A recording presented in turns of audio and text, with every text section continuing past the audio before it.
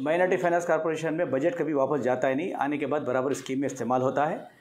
रही बात हमारे पास जो है माइनॉरिटी पर खर्च करने के लिए बहुत से स्कीमात हैं। एमएफसी में स्कीम्स है हमारे पास। टेम्बरीज है हमारे पास। शादी मुबारक है। माइनॉरिटी का बजट वापस जाने का सवाल ही नहीं है।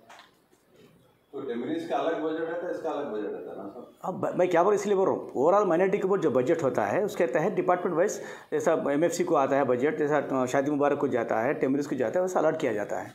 बजट वापस जाने का सवाल ही नहीं है। स्कीम कार की स्कीम बरकरार रहेंगे फिर नए बरा बरकरार रहेंगी। अभी उसके बाद वो वो भी स्कीम शुरू करेंगे हम। आप आने के बाद कोई चेंजेस नए स्कीम या फिर जो आवाम की सहूलत कैसे कोई नई मैं इसीलिए बोल रहा हूँ कि मैं आने के बाद जो बैंकेबल स्कीम का था ना उसको पहले बहुत से लोगों का डिमांड था कि बहुत दिन से बैंकेबल स्कीम नहीं दिए हैं। तो लिहाजा जो है हमने ज़्यादा फोकस बैंकेबल स्कीम पे किया है। लिहाजा जो है बैंकेबल स्कीम इमीडिएट एक हफ़्ता दस दिन के अंदर शुरू किया जाएगा। उसके बाद फर्दर जो भी स्कीम्स होंगे उसके बाद फर्दर फर्दर किया जाएगा।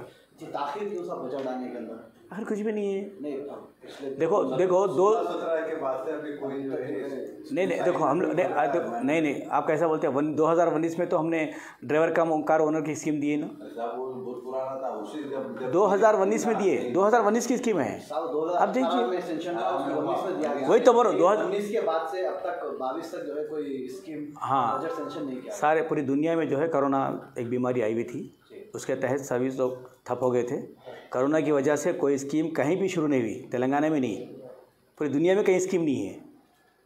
ले बैंकर साथ देंगे सर? हंड्रेड परसेंट साथ देंगे। हम ये जो कैटेगरी वन वन लाख का लोन है उसके लिए बैंक वालों को हम ये बिल्कुल रिक्वेस्ट करेंगे कि वन लाख के लिए कोई भी चीज़ डिमांड नहीं किया जाए चाहे वो बैंक सिविल हो या कोई भी ऐसी चीज़ हो उसके लिए ना पूछा जाए ताकि गरीब लोग रहते हैं उसके लिए। ये चीज़ कुछ चीज़ें हैं। आपको इंशाल्लाह गाइडलाइंस एक दो तीन दिन के बाद डिसाइड करके आपको डेट के साथ गाइडलाइंस भी आपको अनाउंस किया जाएगा। किसी शक्ल से बैंक वाले अगर एक्सेप्ट नहीं कर रहे तो उसके लिए गवर्नमेंट क्या एक्शन लेगी? हंड्रेड परसेंट करना पड़ेगा। जी। बराबर जो बैंक एक्सेप्ट नहीं करेगा हुकूमत को हम रिकमेंड करेंगे बैंक पे एक्शन एक्शन लेने के लिए। नहीं नहीं बैंक वाले क्या हो रहा है? डिपॉजिट आपके अकाउंट में बीस हज़ार नहीं, नहीं, नहीं। आपको अमाउंट देते नहीं नहीं वो पुराना होगा अब नए में ऐसा नहीं रहेगा बिल्कुल। अच्छा आप जो ऑनलाइन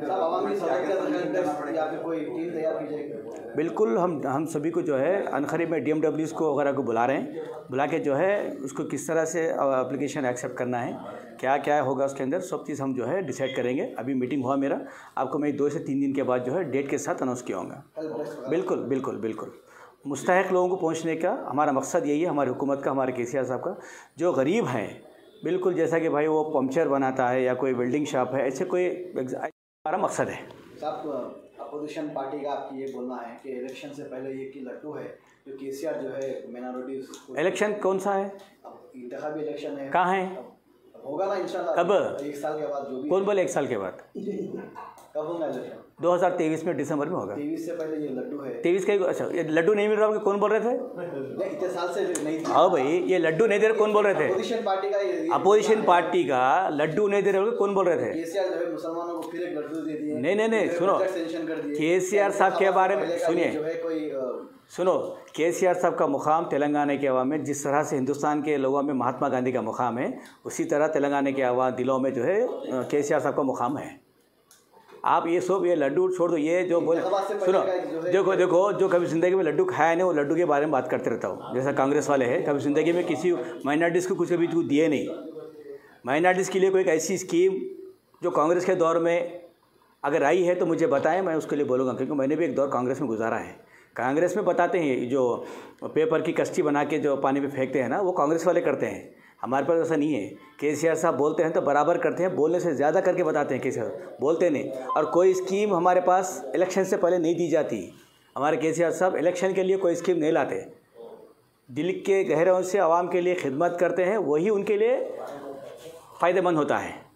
शादी मुबारक इस टाइम को इलेक्शन के लिए नहीं लाए। टेम्बरिस स्कूल को इलेक्शन के लिए नहीं लाए। उसी तरह माइनॉरिटी के फाइनेंस कॉरपोरेशन में जो स्कीमात हैं, कोई इलेक्शन से ताल्लुक़ ही नहीं है इसको। ये हमारा के साहब का है और अनखरीब में और एक बड़ा बजट देने वाले हैं। इन जितने भी अनएम्प्लॉयमेंट माइनॉरिटी भाई हैं, वो लोग सभी को जो है इस लोन के ज़रिए कुछ ना कुछ बिज़नेस करने का मौका दिया जाएगा। ये हमारी हुकूमत का के साहब का तवखन है। ग्यारह से बारह हज़ार लोगों को लोन दिया हमने, जो दो हज़ार चौदह पंद्रह अप्लीकेशन थे। और एक अहम बात मैं आपको ये बोलना चाहता हूँ कि जो पुराने एप्लीकेशंस थे 2014-15 के, उन, उनमें से जितने लोगों को देना था, दे चुके हैं। बाकी के जो अप्लीकेशन है, उसको क्लोज़ किया गया है। अब जो भी अप्लीकेशंस हो गए, नए अप्लीकेशंस ऑनलाइन से कबूल किया जाएगा। मैं हमारे अनएम्प्लॉयमेंट भाइयों से और जो छोटे मोटे कारोबारी भाइयों से मैं गुजारिश करता हूँ कि मुस्तक लोग जो है ऑनलाइन से अप्लाई करें। बहुत जल्द से जल्द जो है, हम इस ऑनलाइन की डेट एक दो से चार दिन के अंदर अनाउंस किया जाएगा। मैं हमारे के साहब का दिल के गहरों से शुक्रिया अदा करता हूँ। आपने जो है पचास करोड़ जो है इमीडिएट रिलीज़ किए हैं। मेरे चेयरमैन बनने के बाद हमने एक से दो मरतबा रिपेंडेंस करें। इमीडिएट सीएम साहब ने जो है पॉजिटिव रिस्पांस देते हुए कहा कि ये पचास करोड़ आप इमीडिएट खर्च करें और सेकेंड फ़ेज़ में जो है बहुत जल्द, महीना या डेढ़ महीने के अंदर जो है सेकेंड फ़ेज़ भी जो है एक नाइन्टी फाइव करोड़ का भी रिलीज़ करने का हमने वादा किया गया है। लिहाजा जो है डेढ़ सौ करोड़ का जो स्कीम हम अन खरीब में एक साथ मिलकर करेंगे।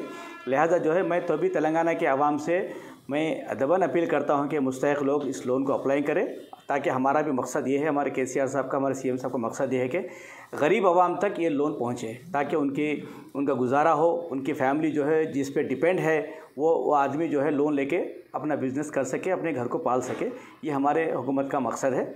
लिहाजा जो है मैं इस फिफ्टी क्रोर्स रिलीज़ करने पे हनरेबल के सी साहब का शुक्रिया अदा करता हूँ हनरेबल मिनिस्टर कुप्पला ईश्वर साहब का शुक्रिया अदा करता हूँ, जनाब अलहाज महमूद अली साहब का, जनाब ए के खान साहब का, सभी का और ख़ासकर हमारी एमडी मैडम कांति मैडम का भी मैं दिल की गहरों से शुक्रिया अदा करता हूँ। खुदा हाफिज़।